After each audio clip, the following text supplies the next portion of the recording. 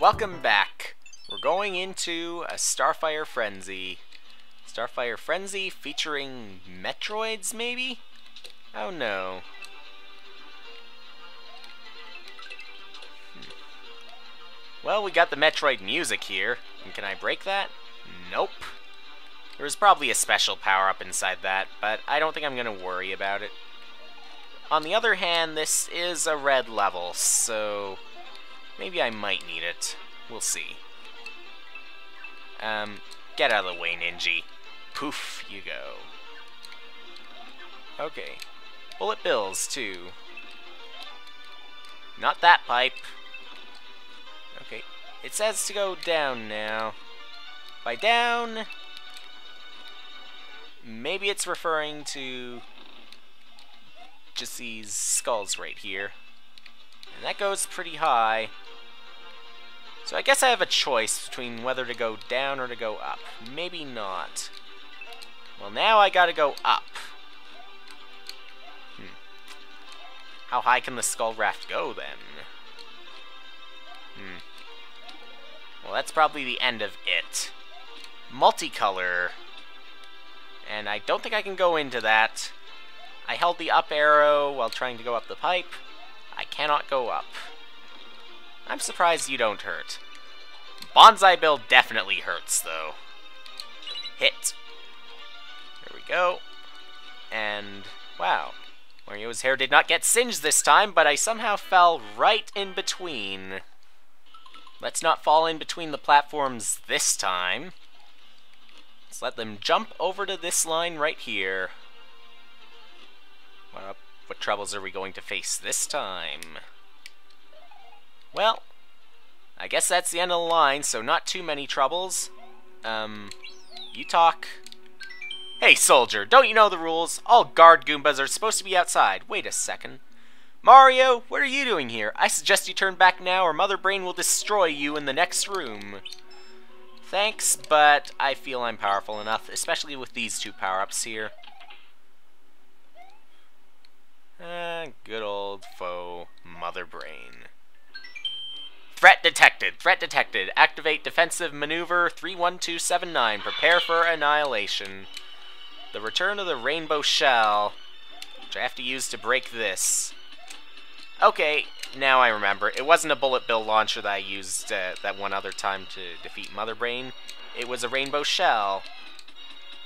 And the rainbow shell I don't think it hurts Mario, but Podoboo definitely does. That's nice. You can actually use this rainbow shell to get rid of the Podoboos, make this battle considerably easier. All the obstacles are a bit more predictable. Mother Brain, you gonna do anything, or are you just gonna stand there while these onion rings do all the work for you? Or maybe you're controlling the onion rings, so technically you are doing the work. And I'll commend you for that, but I still want your life to end.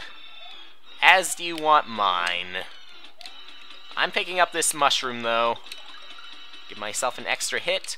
While you have plenty of hits, I have only a limit of three. And I have a rainbow shell with me. Although you have obstacles to hurl at me from all directions, I can only hurl it at you from one. You probably take the same number of hits as you did in the last battle with you. That's what I'm gonna guess. Warning, system shutdown. Self-destruct sequence activated. The base will be destroyed in T-minus two minutes. Wow. Is it really gonna self-destruct? I don't see a timer. But something makes me think it could self-destruct here. Maybe there's rising lava. Okay. The return of the Lakitu shoe. Gonna be careful here. I could probably lose it to the Podoboos. I can be safely on this ceiling right now. Okay. Um, is that as high as I need to go? As far as I need to go? Oh no, the star is closing in on us. We'll all die in here. Uh-oh. Let's be careful. Let's not do that. Um, we gotta break this open. Do we really have only two minutes? I hope not. It might expire soon, if there really is two minutes. If there really are two minutes. Okay, another one. And there's probably no time limit. Probably just trying to scare us. Otherwise, it might show up. I don't know if Super Mario Bros. X... Maybe it is capable of having a time limit in some levels, some instances, because if the original Super Mario Bros. games, well, with the exception of two, were timed, then it makes perfect sense, doesn't it? Okay. Um, a rainbow shell. And the rainbow shell is immune to lava. Okay. How'd that fire not hit me? Speaking of fire, I could use this fire flower right here. Yeah, I think two minutes is up, so I really don't have to worry. And again, the rainbow shell does not even hurt me. Hit! One, two, three, four, and five. It was a trap. I don't know if I need to use the rainbow shell this time. I probably do. So I'm to take it with me. Don't know how far I was expected to take the Lakitu shoe anyway. Um, and I jumped too high! Well, I have no more Lakitu shoe to toy around with, so I don't have to worry about making mistakes. Except, of course, jumping too high into the upside-down lava. Um, what should I do there? Well, I can get the shell back. Can I take it with me? I doubt it. No, I cannot take it with me. Well, we get another Lakitu shoe. Um, or two. So I guess in one player, it's in case we make a mistake. Um, how high can it go? Well, hugging the wall seems to help.